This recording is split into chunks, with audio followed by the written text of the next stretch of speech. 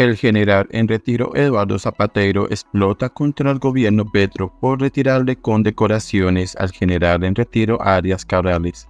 Está el gobernador con odio y rencor. El excomandante del ejército criticó la decisión tomada por el Ministerio de Justicia.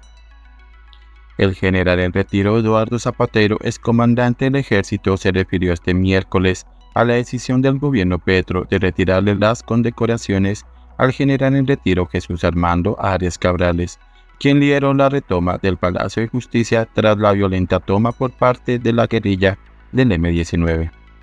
Zapatero señaló que están gobernando con odio y rencor y muchas ganas de venganza reprimida. Por eso no han podido darles a los colombianos lo que prometieron en su plan de gobierno.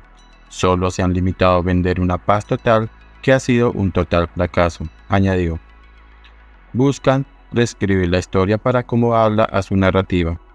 Quienes con todo el daño que hicieron y han hecho son los verdaderos responsables de esos hechos, con los que hoy castigan al señor general Jesús Armando Arias Cabrales. Hoy están en el gobierno, para la cual jamás se prepararon y nos tienen jodidos, dijo Zapatero.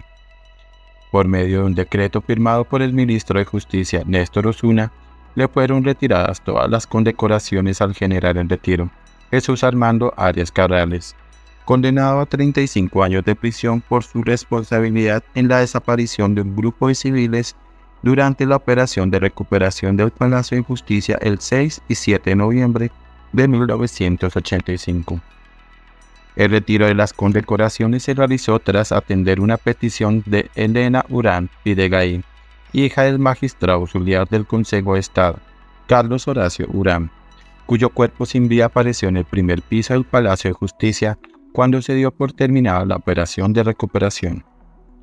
Los familiares de Urán sostienen que existe evidencia suficiente para impedir que el magistrado salió con vida de la edificación, acompañado por un grupo de militares y luego fue ejecutado.